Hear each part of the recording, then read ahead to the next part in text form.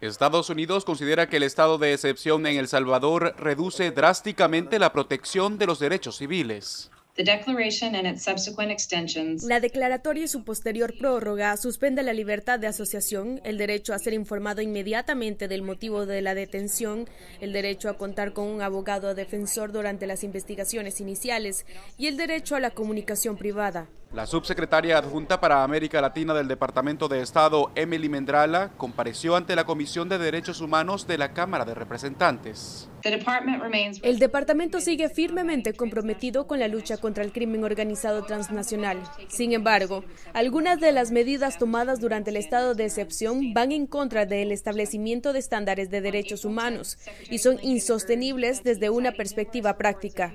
El presidente Bukele reaccionó a través de un tuit, resaltó la cifra oficial de cero homicidios el lunes y fustigó contra Estados Unidos. Mientras unos congresistas de otro país quieren que regresemos al pasado de muerte y destrucción que vivió El Salvador, nosotros seguimos demostrando que sin ellos estamos mucho mejor. Guerra contra pandillas. El mandatario ha sido crítico de la administración de Joe Biden, que ha impuesto sanciones a funcionarios de su gobierno alegando corrupción y socavación del Estado de Derecho. Semanas atrás, Bukele citó un reciente sondeo de la encuesta Gallup, que arrojó que 95% de la población califica como positiva la gestión de su gobierno en el área de seguridad. Según cifras oficiales, la suspensión de garantías constitucionales desde marzo ha resultado en la detención de más de 50.000 personas. Jorge Agobián, Voce América.